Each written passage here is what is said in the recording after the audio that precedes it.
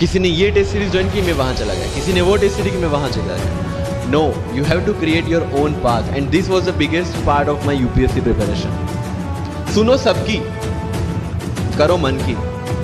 This is applicability of your mind क्योंकि आपकी strength आपकी वीकनेस आपसे ज़्यादा अच्छा कोई नहीं जानता, आपके पेरेंट्स भी नहीं। आपका सबसे क्लोज टीचर भी नहीं।